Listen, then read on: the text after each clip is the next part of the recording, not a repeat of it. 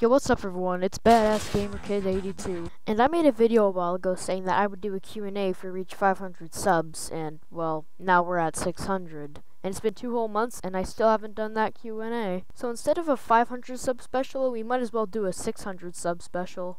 So, uh, Gummy Caster says, Happy 500 subs, how did you get into FNF?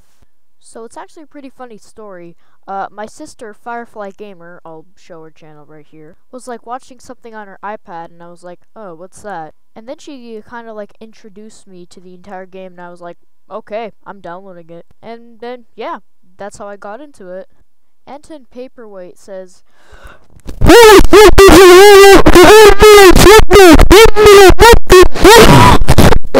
what I kind of did was I learned new things about animation slowly over time, and uh, eventually it turned into what uh, my animations are today.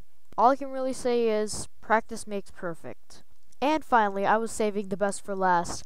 My boy 1Z says, Question. 2 is red, but the rest of the alphabet was 3, what color is X if 2 doesn't like pancakes on Wednesdays? Sorry man, but your attempt to make my brain explode has failed. The answer is oval. So, uh, thanks for watching. And thank you all for all the support that you've given me throughout the year. I would definitely not be where I am today if it weren't for you guys. Okay, bye!